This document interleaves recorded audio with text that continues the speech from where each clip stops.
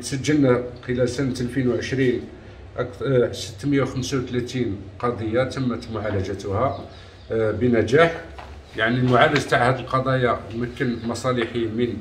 توقيف عدد معتبر من الأشخاص وحجز أكثر من 170 كيلوغرام من الكيف المعالج و 326 ألف و 636 قرص مهلوس و 1494 قنينة لما نقارنها بما تم انجازه في سنة 2019 بحيث نجد أنه هناك زيادة بأكثر من 100% في نسبة قضايا آه، آه، المعالجة وأكثر من 500 أو 600 أو 700% فيما يخص قضية آه، المحجوزات.